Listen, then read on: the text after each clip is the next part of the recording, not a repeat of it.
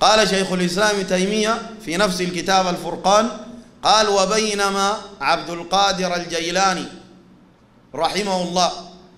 طبعا ديل ماسكين فيه زايد. وطريقته ما بتختلف عن طريقتهم ذاته عبد القادر الجيلاني وكذا ما سوى له كتاب ألفوا دي, دي المجارمة نسبوا الشغلة دي له وسووا طريقة سموها الطريقة القادرية وإلى آخره. ومتمسكين به وعقيدته ضد عقيدتهم الدار يفهم يعرف الكلام ده. عبد القادر الجيلاني عنده كتاب كتبه بيده اسمه غنية الطالبين. أنا أديك فيه حاجة واحدة بس وإن كان أخذ عليه بعض المآخذ لكن هو يختلف من هؤلاء الصوفية. ناس الطريقة القادرية ماسكين في ساي زي الناس اللي بيغلوا في عيسى عليه السلام وهو بريء منهم. قال في غنية الطالبين أثبت فيها الاستواء لله تعالى. الرحمن على العرش استوى أخذ هذه الآية بظاهرها كما أخذها السلف كالأوزاعي ومالك ابن أنس إمام دار الهجرة والليث ابن سعد ومجاهد بن جبر رحمه الله تعالى وأبو العالية تلميذ ابن مسعود رضي الله عنهم جميعا ورحم الله من كان منهم من التابعين ومن بعدهم. بيثبت الاستواء لله سبحانه وتعالى. امشي الليل أمسك الصوفي. أي صوفي تلاقيه في الدنيا دي؟ أمسكه. إلا يكون دخل جديد ما أعرف الحاصل. لسه مسكين جديد. لكن أمسك أي صوفي يقول له الله وين؟ أول شيء بقول لك لا يسأل عنه بالأينية. بالأينية. ها يسأل عنه بالأينية دي في السنة في صحيح مسلم. وفي الموطأ باب العتق للإمام مالك. قال من رواية معاوية بن الحكم السلمي رضي الله عنه لما ضرب جارية له لطمها لما أضاعت ماعزا له معزة. لطمها قال أصابني ما يصيب البشر من الغضب. قال فلطمتها. بعد ذاك رب العزة والجلال قال إن الذين اتقوا إذا مسهم طائف من الشيطان تذكروا فإذا هم مبصرون. الزول التقي ده بيرجع سريع فأراد أن يعتقها ليكفر عما فعل.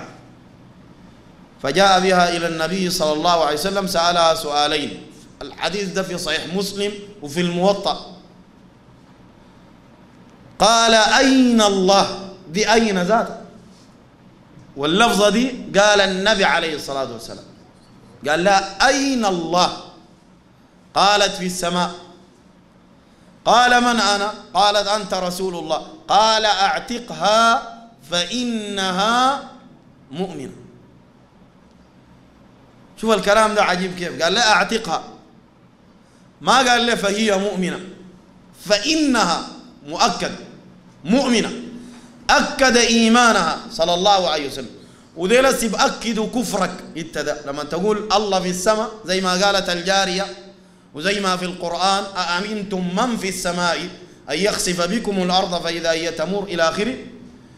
هم بيقول لك أنت مجسم وأنت أثبتت المكان لله وأنت كافر بالله سبحانه وتعالى. عشان كده أسأل يقول لك بجوز الصلاة ورا الزول المستقيم أو الزول عقيدته بقول الله في السماء؟ زي ما في القرآن والسنة؟ يقول لك لا لا لا. ده وهابي يقول لك. هذا وهابي بتاع ولا تبقى وهابي ولا أنصار سنة ولا غيره ولا صوفي ولا غيره أبقى مسلم مستقيم. طيب نحن عشان الكلام يا جماعة ما يشتت في نهاية المطاف. نرجع إلى ما ذكر. نقول بأن هؤلاء الدجالين يستعملون الشياطين وأن هؤلاء الشياطين لهم استعمالات كثيرة. الجران للكلام ده عبد القادر الجيلاني رحمه الله قال عنه شيخ الإسلام تيمية قال خرج ذات يوم في الطريق. فبينما هو يمشي الكلام ده تلقاه في كتاب الفرقان.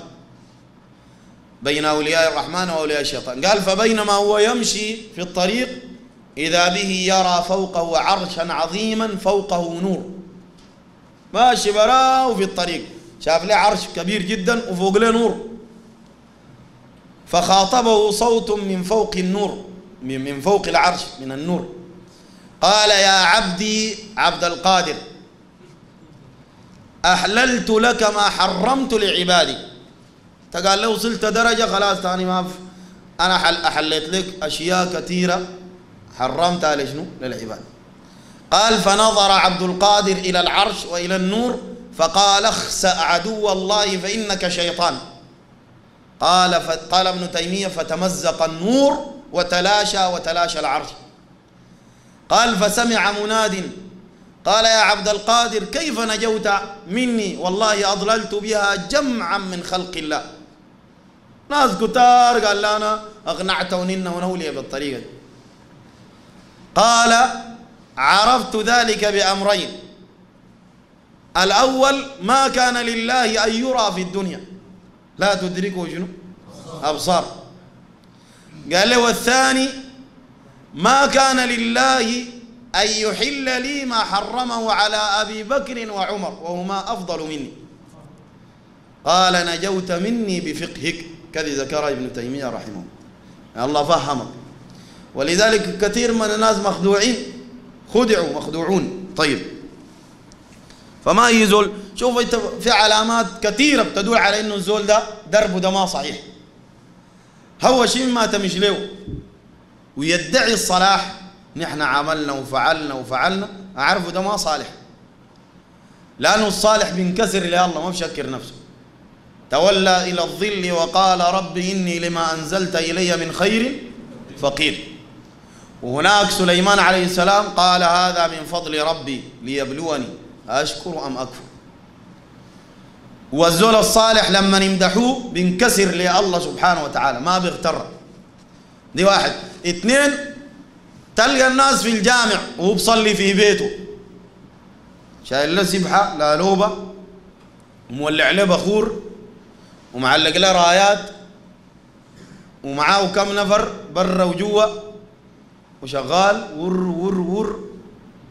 والناس في الجامع أعرفوا ده زول دجال لأنه الرسول عليه الصلاة والسلام ذهب إلى المسجد حتى في مرضه الذي مات فيه.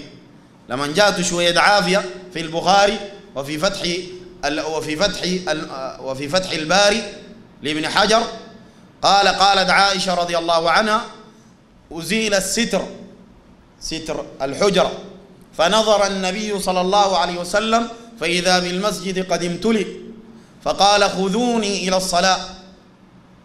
قالت عائشة فرفعه العباس ورجل آخر قال ابن حجر هو علي بن أبي طالب.